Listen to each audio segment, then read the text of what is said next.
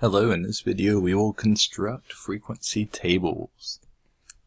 So why do we need to construct frequency tables? Because it does take a little bit of time to do that. Well, it allows us to summarize large sets of data. It allows us to analyze the nature of data and see trends that are possibly occurring.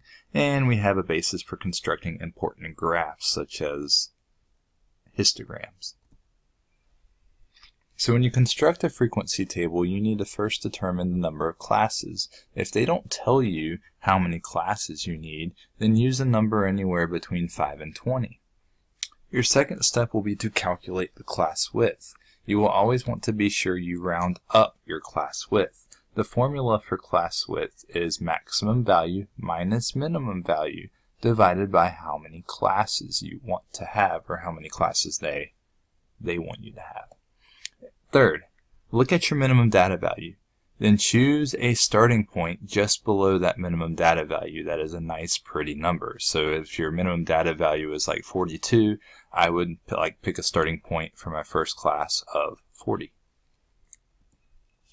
Fourth, using the first lower class limit and class width, proceed to list the other lower class limits. So if I picked 40 as my lower class limit, and my class width is 10. 40 plus 10 gives me 50. Plus 10 again gives me 60, 70, 80. And those are going to be my lower class limits. Then you enter your upper class limits, and then you'll actually go through your data, cross it out, put a tally mark in the appropriate class to help you calculate the frequency. So this is the process you will use to construct a frequency table. So data was collected for the height in inches of 60 elementary people or 60 people in an elementary school, create a relative frequency distribution. Include a cumulative frequency column. Please use eight classes. So I have here all the different heights in inches. There are 60 heights total for 60 people. So first step is to identify how many classes you want, how many groups of data. In this case, I'm going to do eight classes because that's what they told me. Second, you want to do your class width. You need to calculate your class width. This is literally the only serious calculation you have to do for this. Maximum value minus minimum value divided by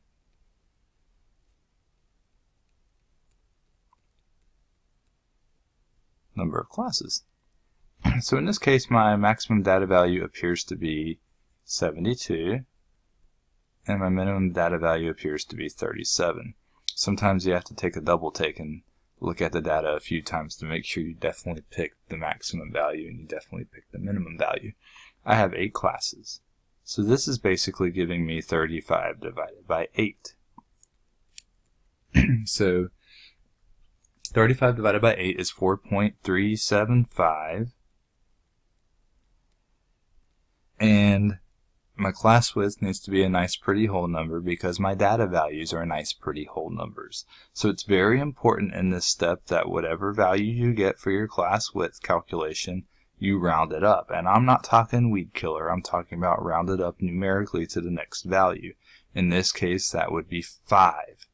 Since my data includes whole numbers, I'm going to keep my class width as a nice whole number. So we have enough information to now construct our classes and our table.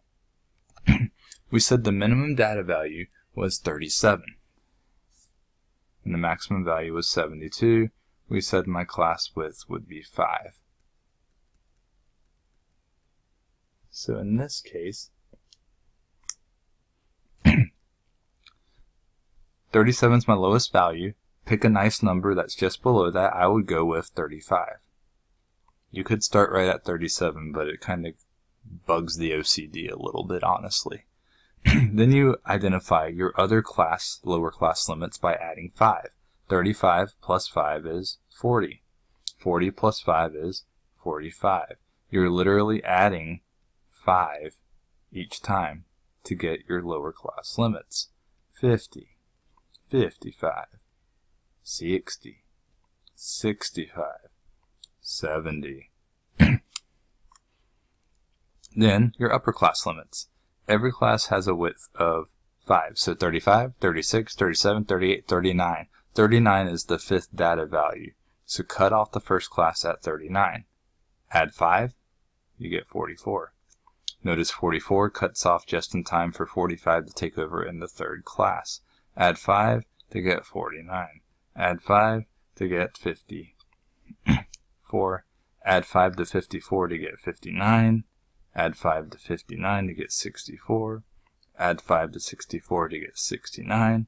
Add 5 to 69 to give you 74. It's really important you add 5 each time to the previous class's limit.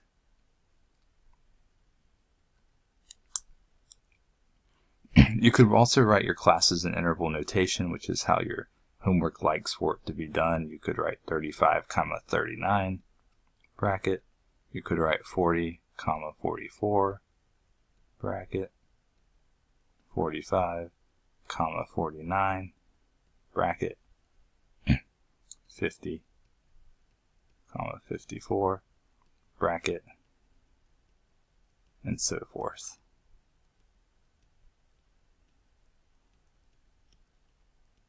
So your homework really wants you to use the bracket notation, the interval notation here.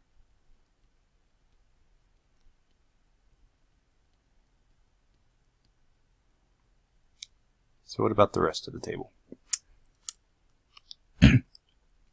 My recommendation is to look at each of your data values, 39 for instance, cross it out, and put a tally mark in the class where 39 belongs. 59, cross it out put a tally mark in the class where 59 belongs. At the end of the day, after you go through all 60 data values, you'll end up with two tally marks in class 1, which is a frequency of 2, and how to find the relative frequency. Remember how to find that. 2 over 60. The frequency divided by the total number of data values in, all, in the entire data set. 2 over 60 is 0.03. Move the decimal to the right two spots to give you 3%. My cumulative frequency is currently 3%. So I want you to take a moment, pause the video, and I want you to fill out the rest of this table, go through the data values, and tally, the, tally up the frequencies for each height class, and then fill out the rest of the table. And then just a minute, after you unpause the video, the answer will appear for you to compare your results. So I have my completed table displayed now, so make sure you check what you have versus what's currently displayed for the frequencies, the relative frequencies, and then the cumulative frequencies, or relative frequencies, I should say. And remember, I told you on a previous video that 100% ideally is what you should get for the total cumulative frequency, but because of rounding issues, occasionally you could get 99% or you could get 101%. So please be aware of that. You won't always get exactly 100%. Alright, so that's one example, and this is a data set that has nice pretty whole numbers. So using frequency tables to understand data.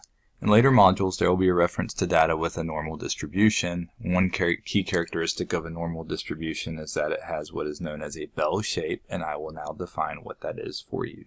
So a bell shape or normal distribution means the frequencies start low, they get high, and then they get low again. So they start low, they get high, and then they get low again. The distribution is approximately symmetric, meaning frequencies of classes before the one with maximum frequency are about the same or mirror the frequencies of classes after it. So for instance, I have here displayed a completed frequency table here. This is the frequency table we made with the heights with the students. Use the relative frequency dis distribution from the previous example to determine whether the data have a normal distribution.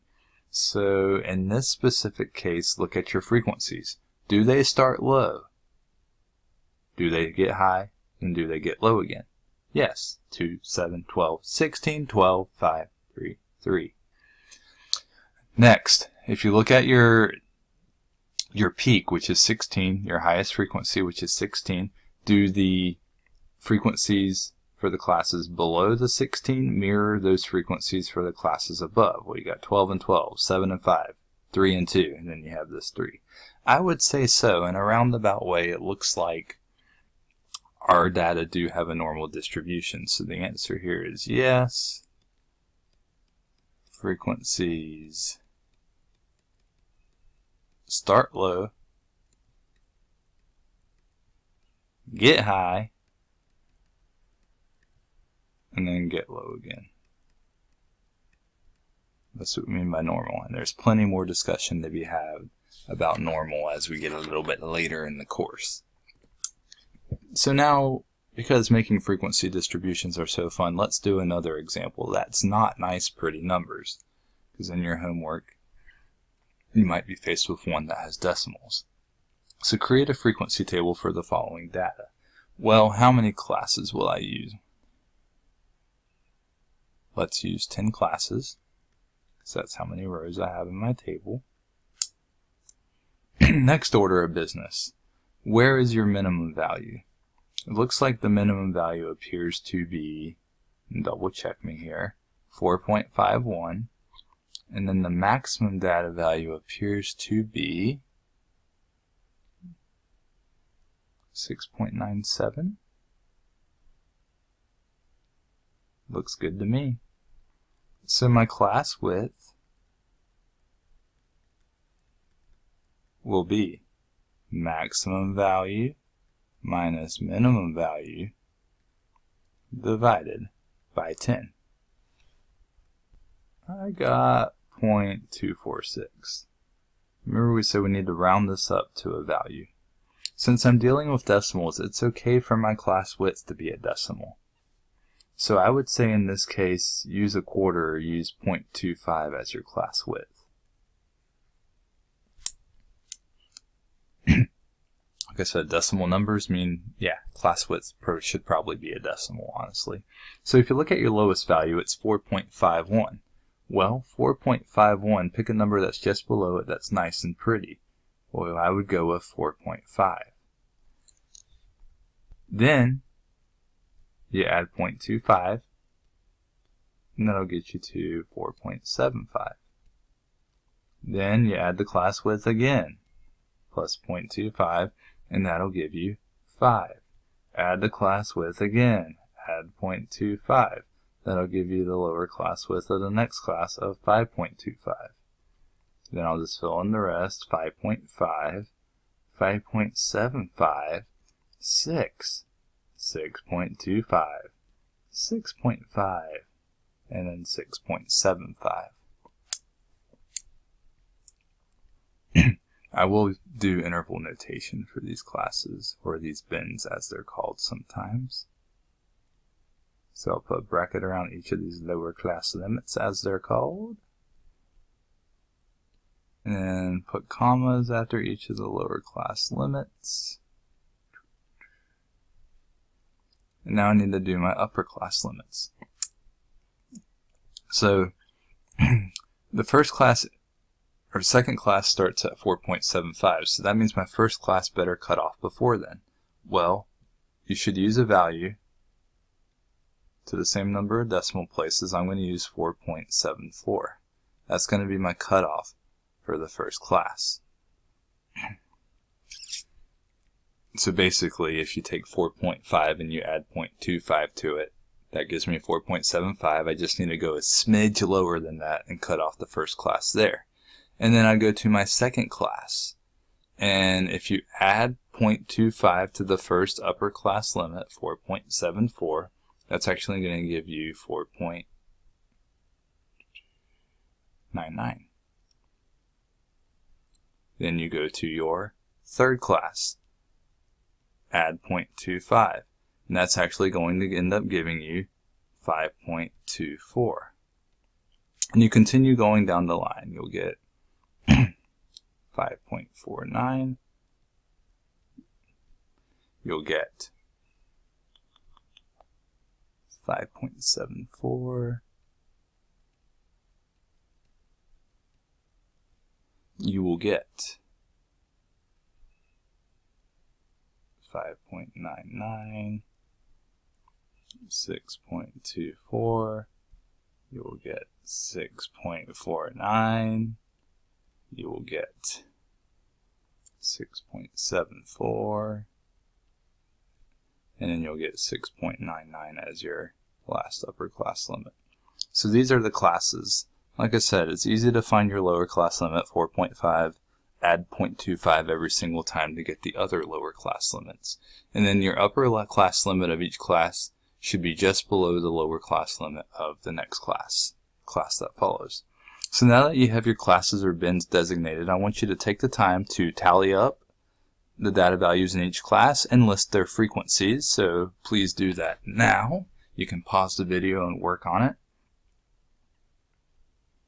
So here's the solution. I have my classes labeled. I have my tally marks and I have my frequencies. Notice my classes encompass every single data value. Notice every class has at least one data value in it as far as the first one and the last one. There's one in the middle that doesn't, but that's fine. So my first class, my lower values, there's at least one in there, and my upper class, my highest classes, my highest values have have two, have a frequency of two. There's two data values there. So you don't want to sit there and spread your classes out so much that you have tons of classes without data values in them. You usually want your first and your last class to have at least a frequency of one. So that's a nicely created frequency table. There's a couple other ways you could have done it, but I feel this is the best way to calculate everything and to display it. So that's constructing frequency tables or frequency distributions, whatever you want to call them. Thanks for watching.